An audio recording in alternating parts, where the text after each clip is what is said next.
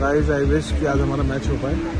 आज सौरभ भाई और हमारा मैच है deciding match for reaching to semifinal लेकिन बिकॉज़ ऑफ़ द रेन थोड़ा डिफ़िकल्ट लग रहा है, लेकिन पॉजिटिव हूँ मैं कि शायद मैच हो पाएगा अच्छा मैच हो पाएगा।